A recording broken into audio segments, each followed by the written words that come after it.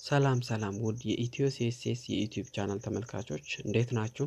ዛሬ አሪፍ የሆነ አፕሊኬሽን ይዤላችሁ መጥቻለሁ። እንደምትወዱት እርግጠኛ ነኝ። online course መማር የምትችሉበት አሪፍ የሆነ አፕሊኬሽን ይዤ መጥቻለሁ።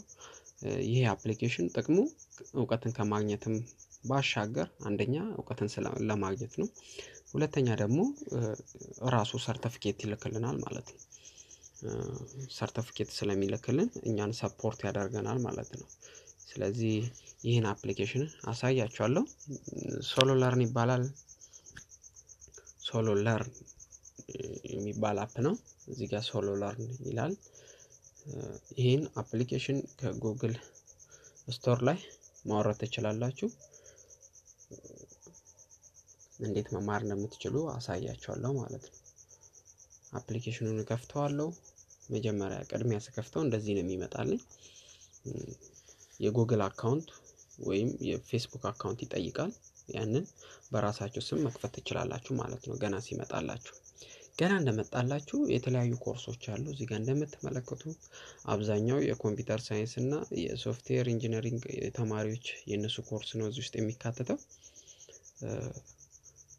ለምሳሌ አንዱ ላሳያችሁ፣ SQL ላሳያችሁ። ለምሳሌ እዚህ ጋር SQL የሚባል ኮርስ አለ። የራሱ የሆነ credit hour አለው።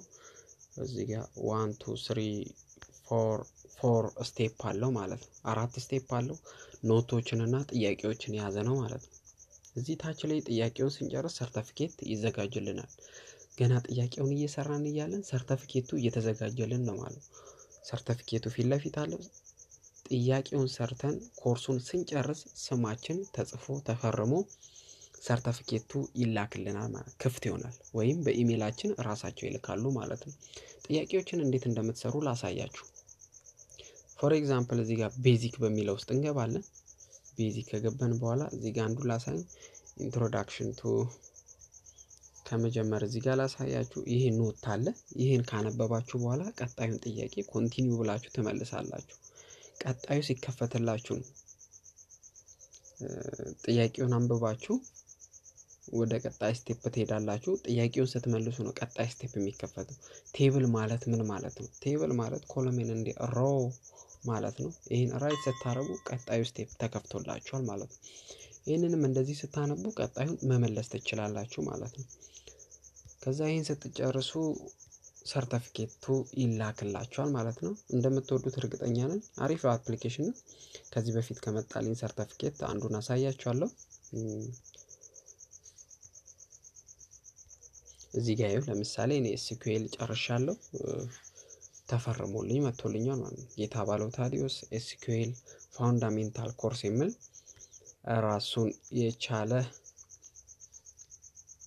ሰርተፊኬትም ተልኮልኛል ማለት ነው። ከ SoloLearn ተልኮልኛል ጨርሻለሁ ማለት ነው። እንደዚህም የተለያዩ ኮርሶች አሉ በውስጡ እነሱንም መከታተል ትችላላችሁ ማለት ነው።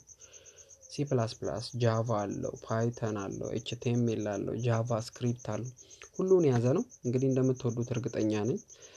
ከኛ ጋር ስለነበራችሁ በጣም እናመሰግናለን። ዩቲዩብ ቻናላችንን subscribe ማድረግ እንዳይረሱ።